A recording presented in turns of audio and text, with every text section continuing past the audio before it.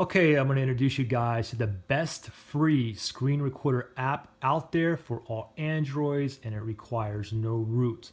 Now there's other good screen recorder apps for Androids out there, but those free ones only allow you to record up to two or three minutes of recording time or it leaves a freaking watermark on the video. With AZ Screen Recorder, it doesn't, it doesn't, um, you don't have a time limit for recording, unlimited time for recording and doesn't leave no watermark. So let me go ahead and open this up.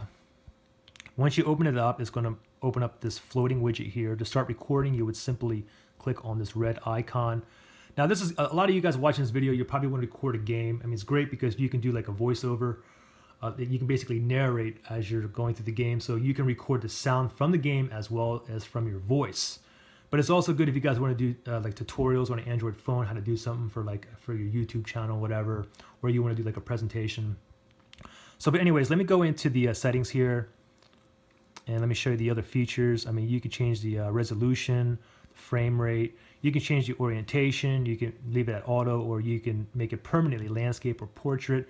Now, if you guys did donate to the developers, it does unlock other handy features like a GIF converter, uh, video trimmer, so you can trim the video.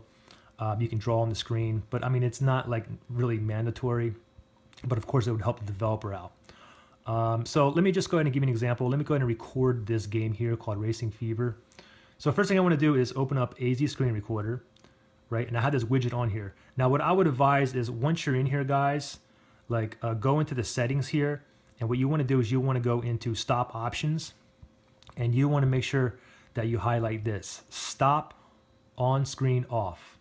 Okay, and the reason is, is like once you start recording the video and you're done, you just click your lock screen and it'll stop the video opposed to like um, if you didn't have this uh, highlighted, what you have to do is stop by notification. So you would have to like scroll down here and then click on stop. And the thing is, it would record that whole stopping action. So make sure that this is on, and then let's go ahead and open up this uh, Racing Fever game. And then let me go and let me go ahead and play it. And I'm gonna start recording now. So I'm gonna click on this, start now. It's gonna be a countdown: three, two, one. Okay, so I'm, I'm playing the game. Now, if I want to stop the recording, I would just click on my lock screen right here. Boom, and I'm done.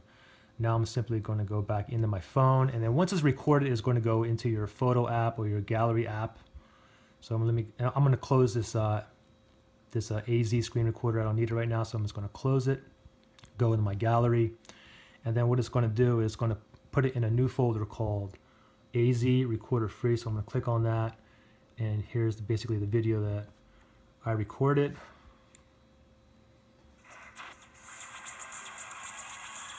And that's pretty much it. If you guys have questions or anything, just comment below. If you subscribe, that'd be great too. Thanks, guys. Bye.